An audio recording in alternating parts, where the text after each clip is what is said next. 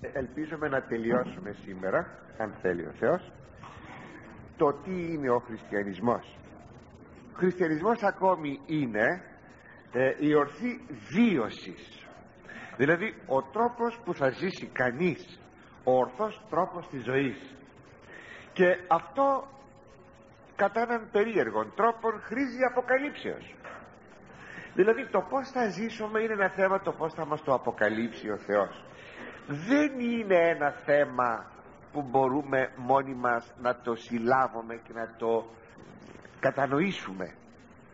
Λέγει ο Κύριος ή τα επίγεια ύπον ημίν και ου πιστεύετε πως εάν είπω ημίν τα επουράνια πιστεύσετε εάν σας είπα λέγει τα επίγεια πράγματα και δεν πιστεύετε πως θα σας πω τα επουράνια πράγματα και θα πιστέψετε γιατί δεν πιστεύουμε; Καταρχάς το ρήμα πιστεύω μπαίνει στο θέμα των επιγείων πραγμάτων. Αυτό κάνει πάρα πολύ εντύπωση το ότι μπαίνει στο θέμα ε, των επιγείων πραγμάτων η πίστη. Είδατε η πίστη επί των επιγείων πραγμάτων. Λέμε σε κάποιον μη πίνεις κρασί μη πίνεις ναρκωτικά διότι βλάπτουν και αυτό χρήζει αποκαλύψεως. Είναι θέμα πίστεως ε, είναι θέμα πίστεως και χρήζει αποκαλύψεως. Και το σπουδαίο είναι ότι οι άνθρωποι φτάνουν να μην πιστεύουν ούτε τα επίγεια πράγματα. Γι' αυτό λέγει ο Κύριος σας απεκάλυψα, σας είπα πράγματα επίγεια και δεν πιστεύετε πόσο μάλλον να σας πω ουράνια πράγματα να, να πιστέψετε. Και ουδής αναδεύει και στον ουρανόν μη ο εκ του ουρανού καταβάς. Ο Υιός του ανθρώπου ο όν εν το ουρανό εκείνος εξηγήσατο. Κανείς δηλαδή δεν αποκαλύπτει παρά μόνον ο Θεός ο Υιός του Θεού ο οποίος ήλθε από τον ουρανό και εκείνος μας εξηγεί όλα αυτά. Έξω του χριστιανισμού πράγματι αγνοούμε πως θα ζήσουμε ώστε και στον Θεό να ευαρεστούμε αλλά και κοινωνία αληθινή να δημιουργήσουμε. Έξω το χριστιανισμό γι' αυτό ακριβώς έχουμε κοινωνίες παραπέουσες μέσα στην ιστορία. Ποια ήταν η κοινωνία η καλύτερα των Αθηναίων των Σπαρτιατών των Μακεδόνων των Θεσσαλών των Ρωμαίων των Περσών; Ποια ήταν η καλύτερα κοινωνία; Η καθεμιά ήταν βασισμένη κατά το δοκούν όπως το πίστευε όπως το ήθελε. Κατά τις ανάγκες της και τα λοιπά. Ώστε βλέπουμε λοιπόν εδώ ότι πράγματι έξω του χριστιανισμού αγνοούμε πως θα ζήσουμε. Γι' αυτό ακριβώς χριστιανισμός εστίν όπως λέγει ο Άγιος Γρηγόριος ο θεολόγος και θα παρακαλέσω αυτό να το θυμόσαστε χριστιανισμός εστίν μίμησης Αγίας Τριάδος τι είναι ο χριστιανισμός; Μίμησης Αγίας Τριάδος. Δηλαδή να μιμηθούμε τον, το, την Αγία Τριάδα.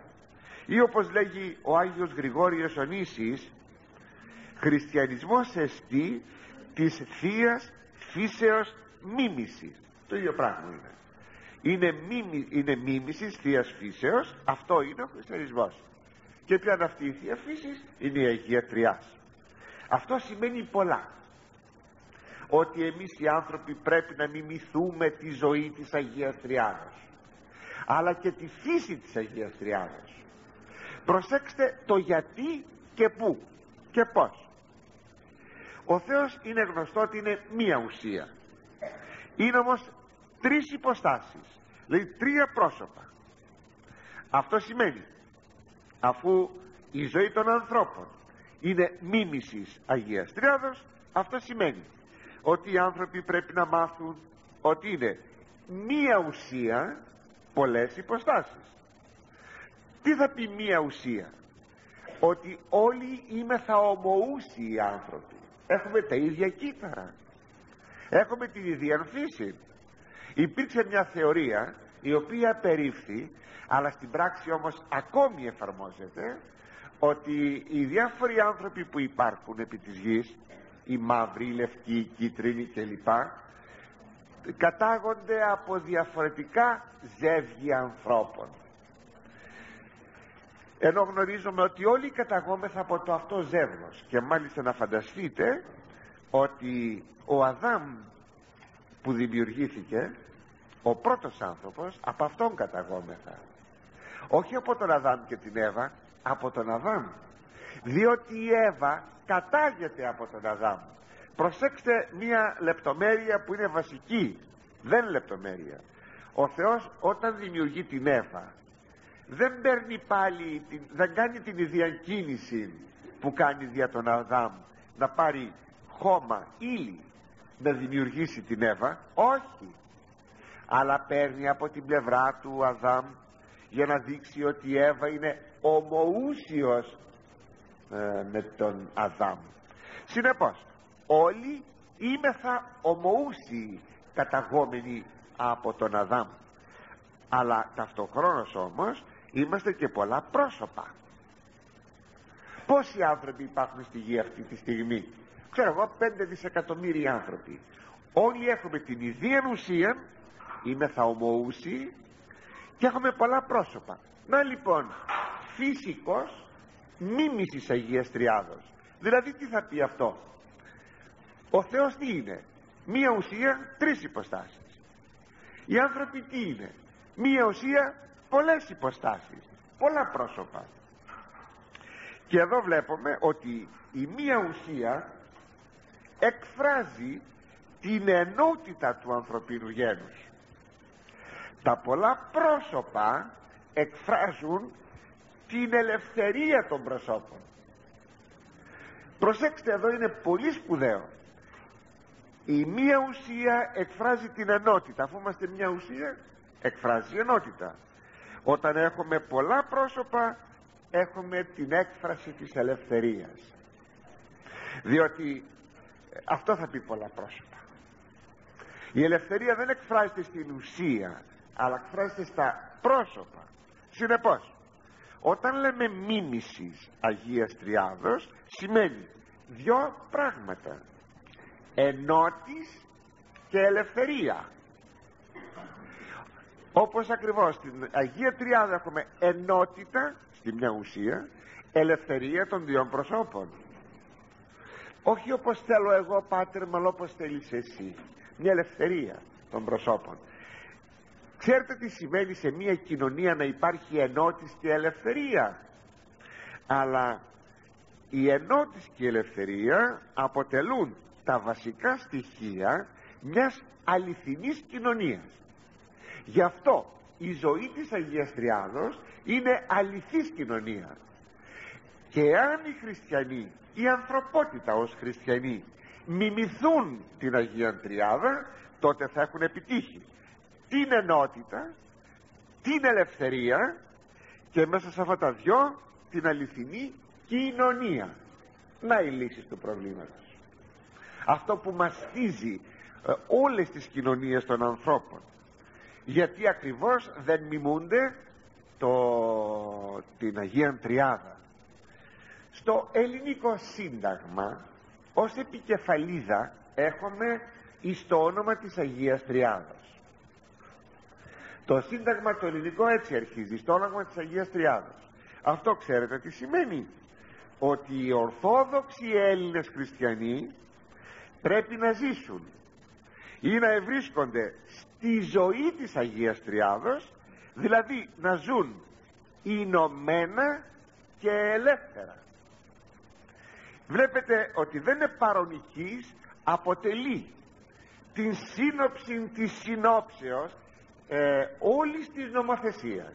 Διότι τι είναι το σύνταγμα; Είναι η σύνοψη των νόμων τι είναι η επικεφαλίδα της, ε, του συντάγματος; Η σύνοψη της συνόψεως.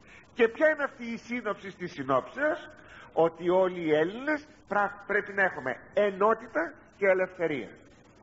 Είναι πάρα πολύ μεγάλο και σπουδαίο και τρανό αυτό αλλά η μίμηση όμως της Αγίας Τριάδος επιτυγχάνεται Χριστό Ιησού. Δεν μπορούμε να επιτύχουμε έξω του Ιησού Χριστού αυτήν την μίμηση. Μην ξεχνάτε δε ότι το σώμα του Χριστού του οποίου κοινωνεί είδεθα και φυτεμένοι είμαστε είμαι θα σύμφυτοι στο σώμα του Χριστού σημαίνει την ενότητα. Η Πεντηκοστή που κάθεται το Πνεύμα το Άγιον στην κάθε μια κεφαλή των παρισταμένων εκφράζει τα πρόσωπα και την ελευθερία. Ενότητα ελευθερίας. Πού έχουμε τώρα την ενότητα και την ελευθερία; Εν Χριστώ Ιησού. Εν Πνεύματι Αγίο. Ε, Μεγάλο πράγμα αυτό. Αυτό σημαίνει ότι ο Λόγος του Θεού το δεύτερο πρόσωπο έπρεπε να ανθρωπίσει τόσο δια την διόρθωση του κακού την ανόρθωση των ανθρώπων όσο και δια την αγάπη. Διότι κι αν δεν υπήρχε πτώσεις πάλι ο Θεός Λόγος θα ενυνθρώπιζε από αγάπη για να περιβληθεί την ε, κτήση του. Γι' αυτό λέγει ο Μέγας Βασίλειος τα εξής θαυμάσια λόγια. Είναι στους όρους κατά πλάτος Δευτέρα ερώτησης. Λέει όρος χριστιανισμού δηλαδή κανόν χριστιανισμού μίμησης Χριστού εν το μέτρο της ενανθρωπίσεως κατά το επιβάλλον τη εκάστου κλίση. Τι δεν λέει ο χριστιανισμός τι είναι ο όρος χριστιανισμού; Να μιμηθούμε τον Χριστό κατά το μέτρο της ενανθρωπίσεως που υπάρχει στον καθέναν άνθρωπο. Δηλαδή ξέρετε τι σημαίνει αυτό; Σημαίνει ότι ο κάθε άνθρωπος ο κάθε πιστός πρέπει πρέπει ε, να κινηθεί και να ζήσει στο μέτρο της ενανθρωπίσεως του Χριστού. Αλλά ποιον είναι το μέτρο της ενανθρωπίσεως του Χριστού; Είναι η εικόνα του Χριστού στον άνθρωπο. Γι' αυτό λέγει ο Απόστολος Παύλος ους προόρισε εκείνους που προόρισε ο Θεός συμμόρφους της εικόνος του Ιού αυτού Ρωμαίος 8.29 να γίνουν σύμμορφοι μια μορφή με την εικόνα του Ιού του ώστε πρέπει να γίνουμε σύμμορφοι με την εικόνα του Ιού. Πρέπει να μιμηθούμε την εικόνα του Ιησού Χριστού. Συγγνώμη. Είμαστε η εικόνα του Χριστού και πρέπει να τον μιμηθούμε. Γι' αυτό ερμηνεύει ο Οικουμένιος και λέγει πάνω σε αυτό ο περεστή φυσίν ο Υιός του Θεού κατά φύσιν εν τη ενανθρωπίση δήλων δε ως Άγιος και αναμάρτητος τούτο και αυτή γεγόναση κατά χάριν. Εκείνο που είναι ο Χριστός αυτό πρέπει να γίνουμε και εμείς. Η εικόνα δε του Ιού την οικονομία καλή η οικονομία δεν θα πει ενανθρώπισης τι είναι η εικόνα του Ιού η ενανθρώπισης και το εντέφεν αυτού σώμα. Και το εξ αυτού σώμα. Ώστε λοιπόν τι θα πει ε, είμαι εγώ; Είμαι η εικόνα του Χριστού. Και πρέπει να μιμηθώ το Χριστό γιατί είμαι η εικόνα του Χριστού. Προσέξτε αυτό το σημείο. Είμαι η εικόνα του Χριστού διπλά. Πρώτον με την έννοια ότι είμαι αυτό που είναι ο Χριστός αυτό προσέξατε το. Λέγει ο Άγιος Ειρηναίος ότι ε, η Αγία Γραφή λέει ότι είμαι θα εικόνα του Θεού. Τότε δεν είχε αποκαλυφθεί ακόμα ο Χριστός. Γι' αυτό ο ορισμός ας το πούμε ή το ατελής. Αυτό που διατυπώνει η Αγία Γραφή είναι ατελές. Ότι είμαι θα εικόνα του Θεού. Όταν ήρθε ο Χριστός έχουμε την πλήρη, την τελεία διατύπωση. Δεν είναι θα εικόνα του Θεού είμαστε η εικόνα του Χριστού που είναι ο Θεός. Ποια είναι η εικόνα του Χριστού; Αυτό που είναι είμαστε εμείς. Τι είναι; Άνθρωπος. Τέλειος άνθρωπος. Μα ο, ο Χριστός έγινε μετά τον Αδάμ. Και θεωρείται ο νέος Αδάμ. Έστω κι αν ιστορικά προηγείται ο Αδάμ ο Αδάμ έγινε με βάση την εικόνα του Χριστού. Με βάση του τι θα το ο Χριστός έγινε ο άνθρωπος. Συνεπώς οντολογικά ο άνθρωπος είναι η εικόνα του Ιησού Χριστού. Και στο σώμα και στην ψυχή. Αυτή είναι η μία όψης η οντολογική. Είναι όμως και η άλλη όψης η ηθική δηλαδή εκείνο που λέει δήλων που λέγει ο Οικουμένιος δε ως Άγιος και αναμάρτητος. Δηλαδή τι είναι αυτό; Η εικόνα πρέπει να φτάσει στην πλήρωσή της. Ποια είναι η πλήρωση της εικόνας; Το καθομοίωση. Πρέπει να, να μοιάσουμε του Χριστού. Όταν λέει η Παλαιά Διαθήκη κατ' εικόνα και καθομοίωση αυτό το καθομοίωση μας έλειπε. Συνεπληρώθη στο πρόσωπο του Ιησού Χριστού. Γι' αυτό λέει ο Απόστολος Πέτρος εις τούτο εκλήθητε σε αυτό κληθήκατε. Χριστός ημίν σε εσά υπολυμπάνων υπογραμμών σας άφησε μοντέλο υπογραμμών μοντέλο υπόδειγμα ή να επακολουθήσετε τη σύγκριση αυτού να περπατήσετε στα χνάρια του. Ως αμαρτίαν και ποίησε ουδέ βρεθεί δόλος εν το στόματι αυτού. Δηλαδή αγιώτης δηλαδή το καθομοίωση. Περνάμε από το κατ' εικόνα στο καθομοίωση. Όχι τώρα του Θεού αλλά του Χριστού. Αυτό είναι το πάρα πολύ σπουδαίο. Ή όπως λέγει ο Απόστολος Παύλος ε, πρέπει να φτάσουμε στο μέτρο του πληρώματος της ηλικίας του Χριστού. Η ηλικία θα πει ανάστημα. Το ηθικό ανάστημα το πνευματικό ανάστημα του Χριστού. Εκεί πρέπει να φτάσουμε γι' αυτό λέγει και ο Άγιος Ιγνάτιος ο Θεοφόρος χριστιανισμός εστί κατά Χριστόν ζήν τι είναι ο χριστιανισμός; Το να ζει κανείς όπως θέλει ο Χριστός. Κατά Χριστόν ζήν. Να ζεις κατά Χριστόν.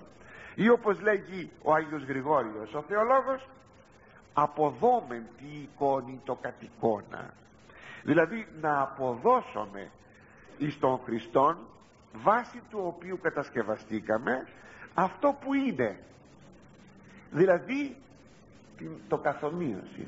Να ομοιάσουμε του Χριστού. Αποδόμεν τη εικόνη το κατοικώνα. Όλα αυτά όμως στην πράξη πως τοποθετούνται;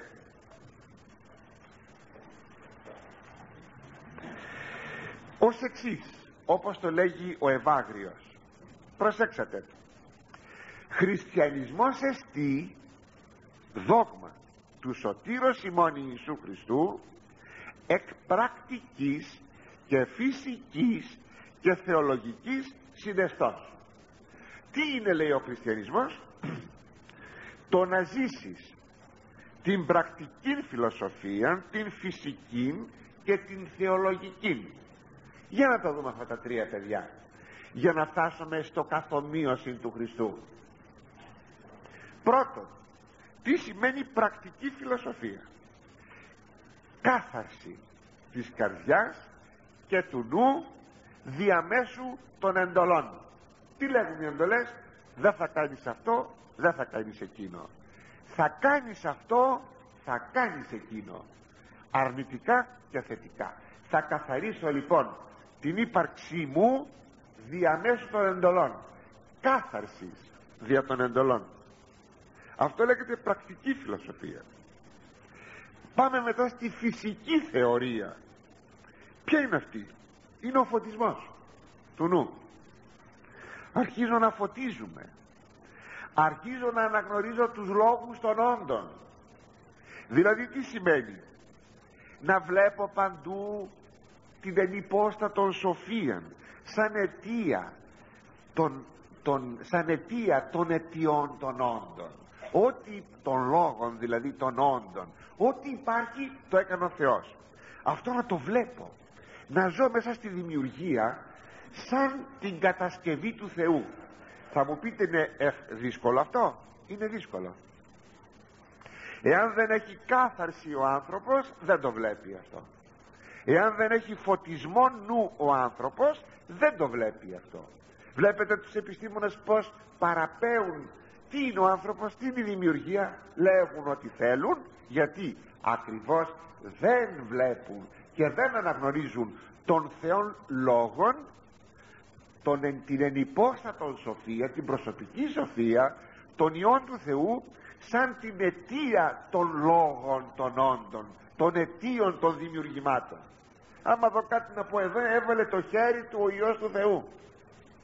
Αυτό και σε αυτό έβαλε το χέρι του ο Θεός ο Υιός του Θεού. Και σε εκείνο και σε εκείνο. Και ουδέν γέγονε ο γέγονε τίποτα δεν έγινε από ό,τι έγινε που να μην έβαλε το χέρι της η Θεία Σοφία ο Υιός του Θεού. Αυτό πότε όταν πετύχω τις εντολές δια των εντολών την κάθαρση και έχω φωτισμόν. Και τέλος είναι η μυστική θεολογία τι είναι αυτή; Είναι η θέωση του ανθρώπου. Είναι η θέα του Θεού. Σαν κοινωνία Θείας δόξης σαν εμπειρική γνώσης πλέον της Αγίας Τριάδος. Η θεωρία του Θεού. Πλέον να αφήσω τα όντα στην άκρη και να είναι κατενόπιον του Θεού.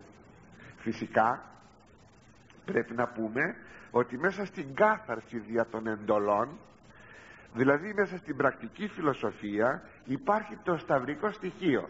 Το τονίζω γιατί δυστυχώς το έχουμε ξεχάσει. Είναι η άσκηση. Το σταυρικό στοιχείο.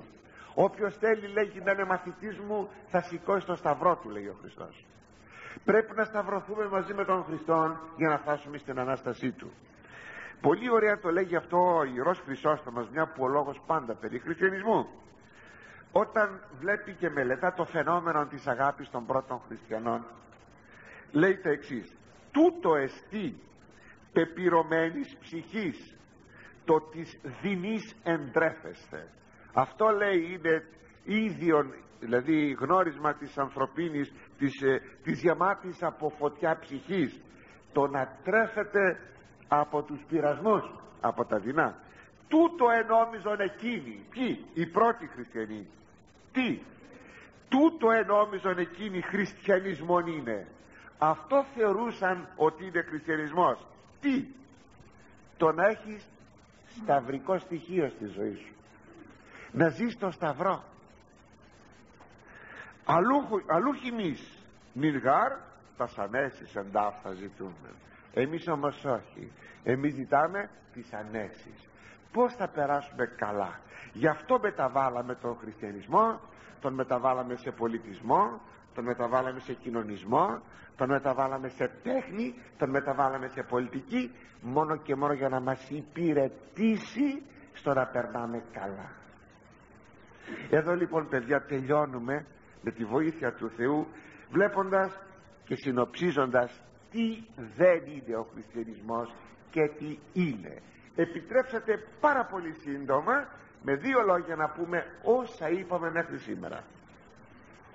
Τι είναι ο χριστιανισμός; Καταρχάς ο χριστιανισμός δεν είναι θρησκεία όπως όλες οι θρησκείες που κινούνται εκ των κάτω προς τα άνω σαν αναζήτηση του Θεού. Δηλαδή κατεπίνια ο άνθρωπος να βρει να ψάχνει να βρει το Θεό ακόμη δεν είναι ο χριστιανισμός φιλοσοφικό σύστημα σαν ανθρώπινο κατασκεύασμα του ανθρωπίνου λόγου της ανθρωπίνης λογικής. Δεν είναι ακόμη σύστημα ηθικής που έρχεται να κάνει να βελτιώσει το βίο του ανθρώπου πάντα κατά των ανθρώπινων λόγων την ανθρωπίνη λογική. Δεν είναι πολιτισμός ο χριστιανισμός που προσπαθεί να βελτιώσει βεβαίως ο πολιτισμός τις ανθρώπινες συνθήκες διαβιώσεως.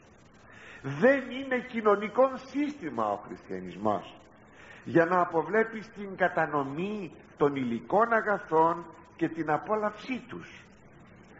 Ο χριστιανισμός είναι ο λόγος σάρξ εγένετο. Αυτό είναι ο χριστιανισμός. Ο Θεός έγινε άνθρωπος δηλαδή η ενανθρώπιση του Θεού που αποκαλύπτεται στους ανθρώπους. Αυτό που λέγει ο Απόστολος Παύλος. Θεός εφανερώθη εν σαρκή αυτό είναι ο χριστιανισμός. Ο χριστιανισμός είναι αποκάλυψη του Θεού. Είναι αναζήτησης του ανθρώπου από το Θεό δεν αναζητά ο άνθρωπος το Θεό. Ο Θεός αναζητά τον άνθρωπο είναι κίνησης εκ των άνω προς τα κάτω και όχι εκ των κάτω προς τα άνω. Ακόμα τα ονόματα του χριστιανισμού που αποκαλύπτουν το περιεχόμενό του τις ιδιότητές του ονομάζεται ο χριστιανισμός πίστης ως ανταπόκριση του ανθρώπου στο Θεό που αποκαλύπτεται. Ονομάζεται ελπίδα ως ελπίδα σωτηρίας. Ονομάζεται ειρήνη ως καταλλαγή Θεού και ανθρώπων εν Χριστώ Ιησού. Ονομάζεται οδός ο χριστιανισμός ως υπερνίκησης της αμαρτίας και του θανάτου και της υλικότητος στο πρόσωπο του Χριστού πορεία προς τον ουρανό. Ονομάζεται ευσέβεια σαν επάνωδος προς μόνο τον αληθινό Θεό. Ονομάζεται καινή κτήσης και κενός άνθρωπος. Καινούρια δημιουργία καινούριος άνθρωπος. Ως οντολογική ανακαίνιση του σύμπαντος αλλά και πνευματική και οντολογική ανακαίνιση και του ανθρώπου. Αφού θα αναστηθεί ο άνθρωπος. Ονομάζεται Άνω Ιερουσαλήμ διότι ημών το πολίτευμα εν ουρανής υπάρχει όπως λέγει ο Απόστολος Παύλος. Ονομάζεται Βασιλεία διότι είναι νέο πολίτευμα νέες σχέσεις νέα ζωή αιώνιο ζωή. Θεωρία του Θεού δόξα του ανθρώπου ζωή του ανθρώπου στη ζωή του Θεού. Ο χριστιανισμός είναι αποκάλυψης του αληθινού Θεού του ενός και μόνου Αγίου Τριαδικού Θεού. Μια ουσία. Τρεις υποστάσεις. Πατήρ Υιός και Άγιον Πνεύμα. Ο χριστιανισμός είναι η εξαποκαλύψεως εν πνεύματι Αγίο και εν Χριστώ Ιησού βίωσης. Ο χριστιανισμός είναι μίμησης της Αγίας Τριάδος στην ενότητα της ουσίας και στην ελευθερία των προσώπων. Δηλαδή αληθής κοινωνία. Η μίμηση αυτή επιτυγχάνεται στη μίμηση του Χριστού κατά το μέτρο της ενανθρωπίσεως. Δηλαδή καθομοίωση του Χριστού σαν απόδοση ή σαν ανταπόκριση στο Χριστό σαν εικόνες του Χριστού. Γι' αυτό ο χριστιανισμός εστίν κατά τον Άγιο Ιγνάτιον κατά Χριστόν ζήλνε να ζούμε κατά Χριστόν. Και αν πρέπει να συνοψίσουμε αυτά που συνοψίσαμε αν έπρεπε κάποτε να πούμε μόνο με δύο λόγια τι είναι ο χριστιανισμός θα λέγαμε ο χριστιανισμός είναι ο Χριστός δεν έχουμε εδώ το Χριστό και εκεί το χριστιανισμό. Ο χριστιανισμός είναι ο Χριστός. Πάρα πολλές φορές σήμερα πετάμε τον Χριστό και λέμε παίρνουμε το Ευαγγέλιο και λέμε και μερικά μόνο πράγματα. Μιλάμε για αγάπη, μιλάμε για φτωχούς, μιλάμε. Ο Χριστός όμως δεν μας χρειάζεται ο χριστιανισμός είναι ο Χριστός. Είναι η φανέρωση του Θεού εν σαρκή. Είναι ό,τι διατυπώνει η Αγία Γραφή. Ο λόγος σάρξ εγένετο ή να η σάρξ γέννηται λόγος. Δηλαδή ο Θεός έγινε άνθρωπος για να γίνει ο άνθρωπος Θεός. Τι είναι ο χριστιανισμός; Ο Θεός γίνεται άνθρωπος για να γίνει ο άνθρωπος κατά χάριν Θεός.